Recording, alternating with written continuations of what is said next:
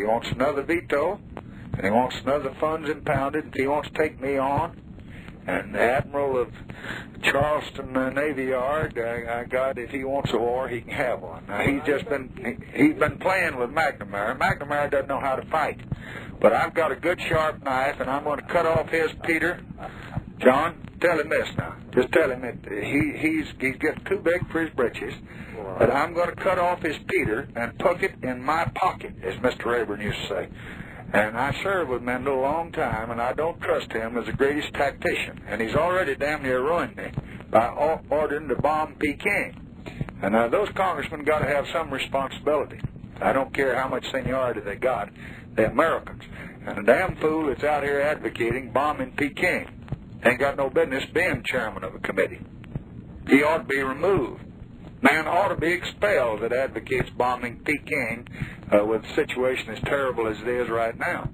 And so you're just going to have to talk to him. If you can't do it, I'm going to send for him and talk to him myself. Now, I talked to him night full last night.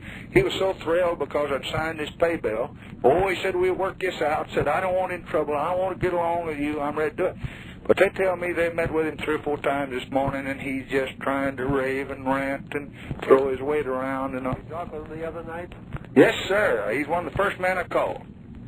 And I said, that I've got two bills here. I'm going to sign one of them. It's wrong to sign it. It cost us $600 million. And you ought to gone down that well, and Carl Albert ought to, and uh, Jerry Ford ought to, and you ought to say, this is fiscal irresponsibility. But we went ahead and passed it unanimously, 414 to nothing. It cost us 600 extra million, and most of it's wasted. It Doesn't go to the people it ought to go to at all. It goes to people that we don't need in the service. We need the specialists, the electronic people. But I signed that bill and I told him so. Now I said on the other one, I can't go along with that because you ruin the whole defense establishment. And I'm just not going to ruin the country because even if the, Congress, the House, and Senate don't know any better. Now most of the Senate didn't even know what was in the bill because they didn't have anything like this in the bill. This was the, the, the crazy committee over there. So when I talked to the senators, I haven't found a one of them that even knew what was in the bill.